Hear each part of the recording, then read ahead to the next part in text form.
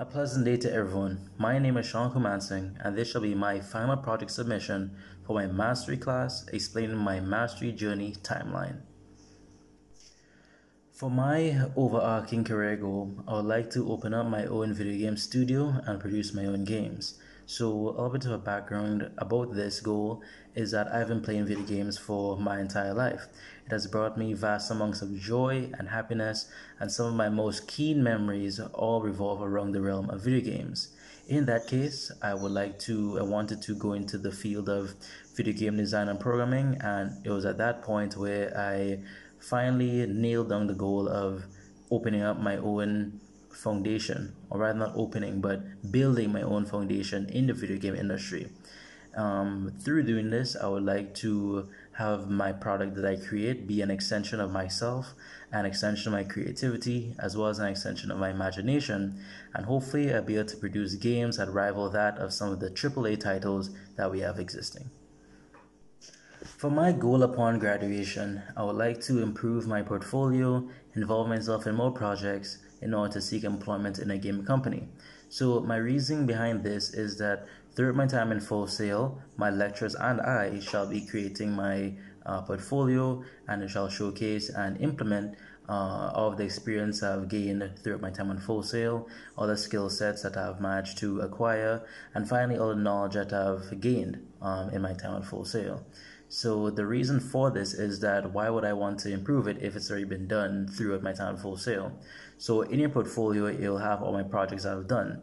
However, after Full Sail or even coming towards the end, I'll learn some new principles and some new facets of game design that if I implement it into projects that I've already completed, will improve the quality of it and making it of a much better standard. Thus, I would like to improve my portfolio and involve myself in some more projects I can get done, implementing again new facets of game design and any new principles, tricks, and tips I might have picked up along the way. And in that sense, I'll be able to create a professional enough professional portfolio, something of quality, something of standard, and be able to apply myself at a job interview at a prestigious game company in order to gain employment. So, in order to achieve these goals, I've deconstructed the steps that I deem necessary in order to complete them in the most efficient and effective way possible. So, for my first step, it'll be in a form of retrospective, it'll be a form of observation and analysis. I'll be taking a look at all the projects I've completed in Full Sail and see areas I can improve. So during this step, it'll do no action. It'll simply just be looking back at the projects I've completed, uh, understanding what I've done, what the premise, the premise of the projects were, um, the ideals I had while creating a project, the objectives I needed in order to get the project completed, and then at that point, I should be implementing some new tips, tricks, facets, principles, anything new that I've learned in order to improve them and make them of higher quality. For the second step, this is where I shall be taking the action in order to improve it. So this while shall be going back into whatever program or platform uh, that I use to create these projects and see if I can improve them. I may make them a bit more user friendly, a bit more challenging, a bit more rewarding, or even just bring them up to a higher quality. Improve on maybe some um, negatives that I got from um, analysis from a review from the lecturer or professor. I'm just seeing where I can make them better. What instances can I use to make this a more positive and engaging experience? So for the second step, they shall be actually improving upon those projects. For my third step, I should be working on new projects and implementing novel ideas and creativity. If you may ask, my hand is here to block out the sun. So pretty much I want to incorporate any new radical ideas or any radical features and mechanisms that I may have learned along the way in order to round out my skill set. Meaning that if at my time on Full Sail I mainly worked on action oriented platformer games, then after Full Sail I can apply myself in more puzzle oriented and more strategic based platforms. Thus, that is my third step of working on new projects and making sure that my creativity and imagination are at the forefront of any work that I complete. For the fourth step in my mastery timeline, I shall create an astounding and professional portfolio that showcases all of my work as well as a synopsis of myself. So within this portfolio, I want to make it such as a thesis paper, a research paper, as you might say, something that is of a PhD, postgraduate level. So I want to make it as professional as I can possibly make it and make it to the caliber of some of the, or what I can do is I will do some research into some of the thesis and some of the portfolios made by former game directors and game developers so I can kind of get an idea of what kind of content that I shall require. Next, I shall create a synopsis of myself. And in this synopsis, I shall highlight some of my character traits, my talents. I'll even include a SWOT analysis, which shall highlight my strengths, weaknesses, opportunities, and threats. And through doing this, I'll be able to cast a thorough and in depth character of myself and what I can accomplish. For the fifth step, I shall be reaching out to companies in the gaming industry, sending them my portfolio, and applying for a position. So through this, I shall most likely utilize a platform of LinkedIn in order to look for professional game developers and directors and seeing if they have any open positions available, internships, or any entry level positions coming out of a master's in the game design field. And then once I send them my portfolio, hopefully set up some interviews and then at that point get employed in the gaming industry. For the sixth step, I should be working at that company for a few years and or transfer to other companies in order to get more exposure and experience.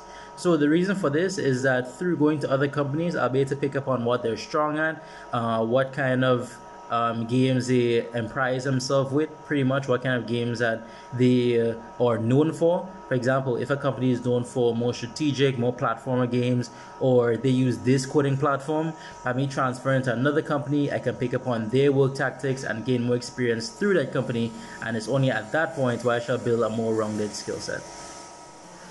For my seventh step, I shall be working on my own projects while at the company as an independent game developer and release these projects to close friends and social circles. So the reason why I say independent game developer is that I would not be able to release company um, company products to friends without being monetized or being released without the company's permission. So while I'll be undertaking any tasks, delegations, and obligations um, that the company will ask of me on the side and in my free time, I'll be working on my own projects and be able to pretty much grow myself as a game developer. So step number eight is going to be a very, um, it'll be a turning point in my life at that point. I'll be working on getting my own funding or a loan, and it is at that point where I shall open my own video game studio. So finally, it'll be at that point when I finally reach close to the pinnacle of my mastery goal. So through this, I shall be either use my own funding that I may have gathered through working on the company, um, taking out a loan or a grant or any um, funding from the bank or any uh, financial institution. At that point, I should open up my own game studio, um, trademarked, copyright, um, make sure that all my intellectual property is in my name, and that's when I shall dive my first step into having something that is completely my own. So for step number nine, I either choose to be an independent company or a child slash subsidiary company for the business or one of the businesses that I work for.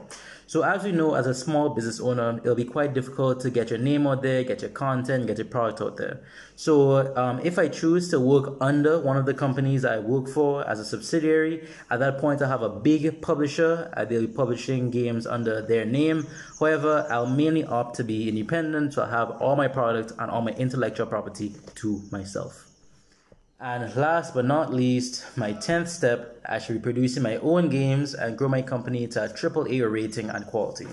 So at that point, I wanted to grow my company to um, to be at the level and caliber of some of the biggest gaming um, legends out there. We have Sony, Microsoft, Epic Games, Activision, and so on. So at that point, I'll be working at my company for a few years and starting to gain some traction in the community. At that point, hopefully, I'll be able to rival that of some of the hugest and most prolific and popular game companies of our time.